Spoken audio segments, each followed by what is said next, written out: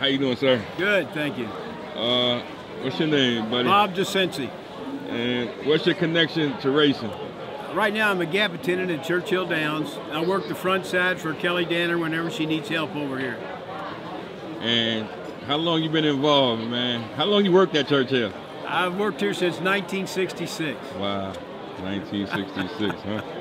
And you know, uh, man, what was racing like back in 1966? Completely different than it is now. Yeah. One of the things that's interesting, when I first came around here, women weren't allowed on the racetrack after 6 o'clock. If you brought your girlfriend or your wife back, they had to stay at the guard shack after 6 o'clock till you got done with your work, and then you could pick them back up. They weren't allowed back here. And you know, what were some of the jobs you had throughout the years? I started out as a hot walker, then became a groom, then was an assistant, then was a foreman. Then I got the good job as an assistant trainer for two. Um, well, Harry Trotsek's in the Hall of Fame. I worked for him. I worked for the guy that got killed at Keeneland, Del Carroll. He was a top trainer, would have been in the Hall of Trade, but he got killed on a horse at Keeneland. Those were two excellent horsemen that gave me a good background. So when I started out training, I had some confidence in myself, you know, from working for them. And you know, what's some of the um good horses you rub, man? Well, I rubbed a horse called Hasty Flyer. Came in, was going to be one of the favorites for the Derby, and he hurt a leg. I rubbed a really good, really good horse, an old horse, won about 49 races. Horse called Navy Admiral. Just some old time class horses. I never was in the big time with horses, but when I was with Del Carroll, we won the Preakness with Bee Bee Bee, I think 72, and. Uh, we won the Diplomat. We won a lot of stakes. Dale had a lot of stake horses. And you know, throughout the years, right? What's your favorite moment? Well, I won the Stephen Foster here with a horse called. Uh, I matter of fact, I bought the horse for twelve thousand dollars, and I won the Stephen Foster with him. And then I won the Louisville Handicap here with another horse and got disqualified.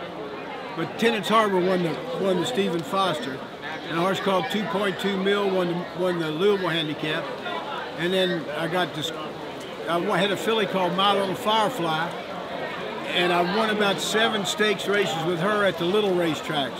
River Downs, Beulah Park, Ellis Park, Turfway Park, places like that. And you know, what's so special about Churchill Downs? I tell you, for me, is because I grew up in Louisville, and when I was a little kid, you know, my dad and my grandfather, church racing was the only game in town. So we grew up learning about horses when we were kids. When I was a kid, there were still horse-drawn carriages.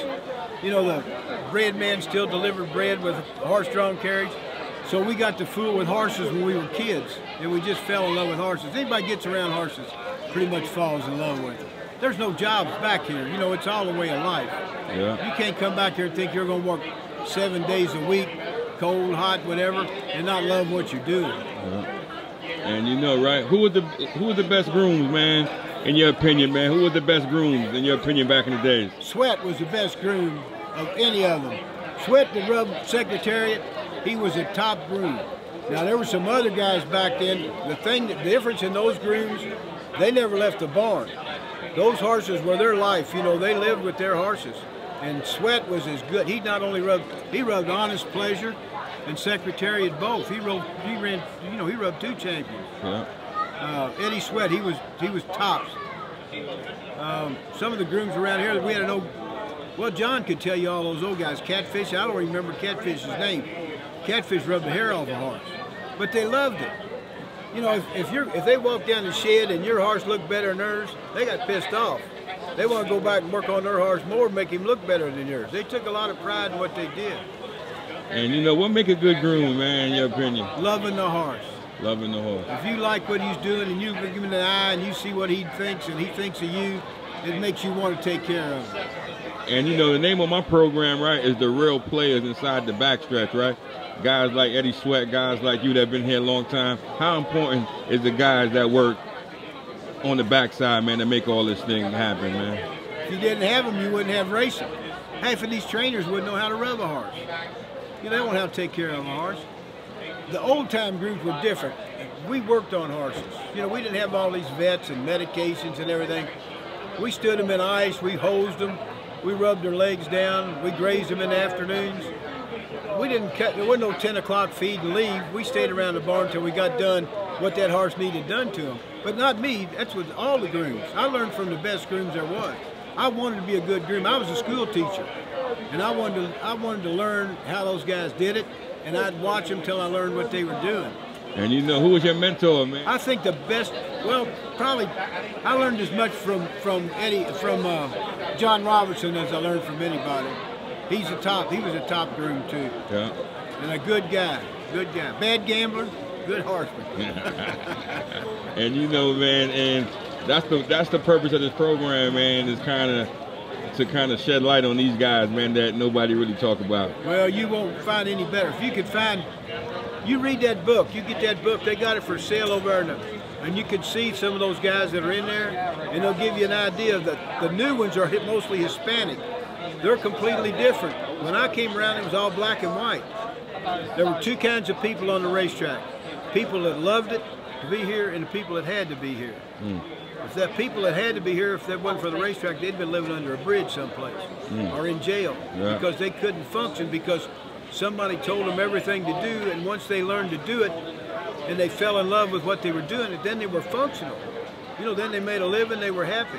But there were grooms in New York. I, I met a groom when I was in New York, had been on the racetrack 32 years and had never left the backside of the racetrack. Wow. Never left, huh? Uh, never had been off the backside of the For 32 years. Yeah. Wow. And that's that's that's that's, that's heavy right there. Yeah, man. they wouldn't leave. And uh, we had a, when I was with Harry Trotsek, we had a boy named Jim. Always, uh, wasn't no boy, boys, no man. He'd had somebody go to the grow. He'd never leave that tack room or that barn. Never would leave it. The only time he left when we shipped to another racetrack. Wow. You And- couldn't get him to go out to dinner or go out to any place to shop. If he'd give you some money to buy him some clothes or something, that was it. Bring it back, huh? Yeah, And me ask you, man, how old are you, man? 78. 78, right? And why you still wake up every day and come to the racetrack? I sleep in there. I don't get up till four. Yeah, but why? But but for you, why? Why still? I just love the. I love being around the horses. You know, horses are like magnets. They draw you to them. And uh, I don't know. It's kind of funny that you. Now I'm a gap attendant. I get to see all the horses. Get to see a lot of new trainers, a lot of new ways of training, like the way they changed the Japanese horse coming up to here. I've never seen training like that before. In all the years I've been here, I've never seen a horse trained like that. I'd seen interval training when they tried that, and it didn't work. So, but I just love, actually love being around horses. You know, it's a, it's a thrill to me to see one when you can get a horse and maybe wasn't any count or maybe somebody gave up on him. You win a race with him. You took a lot of pride in that. You know, to know you could work like that. You got a lot of disappointments. There's a lot of highs and a lot of lows. A lot more lows than there are highs. That's what they say. But you live for the highs. That's what they say, man. And you know, it, it was an honor, man, talking to you, man. You made my day today, man. Well, I hope you do good. I, I love to see people write about the people on the backside. And you know, that's what it's about, man. We travel. I traveled all the way from New York to come Yeah. and interview these guys back here, and you know, thank you. Yes, sir. You take care.